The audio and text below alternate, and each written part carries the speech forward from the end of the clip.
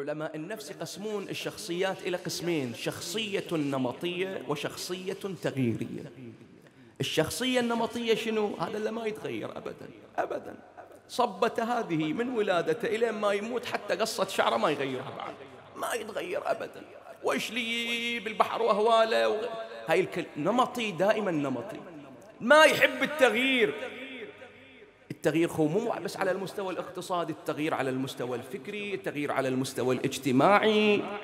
من تساوى يومه فهو مغبون. هذه أبدا ما عنده فيها أبدا أبدا. هذا حالة من يولد إلى ما يموت.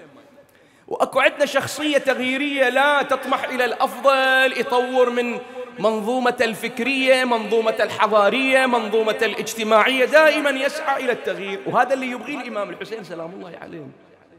يبغي الإنسان الذي يسعى إلى تغيير المجتمع إلى الأفضل. بما يتفق مع القرآن الكريم وبما يتفق مع السنة النبوية المطهرة وما وبما يتفق مع الشارع المقدس. يبغي مجتمع يتطور. لذلك شوف رب ضارة نافعة رب ضارة نافعة. يعني العام بدأوا المآتم كلها تبث. لو أنت تروح قبل سنين تشوف أن المادة الحسينية اللي موجودة في اللي هو وسائل التواصل في اليوتيوب وغيره مثل اليوم؟ لا يا مولاي. لا يا مولاي. هذا بفضل الشباب المبدع بفضل الشباب اللي يحب التغيير اللي يواكب التغيير. وصلنا إلى هالمستوى أيها الأحبة. وهذا قليل في حق الإمام الحسين سلام الله عليه. قليل في حق الإمام.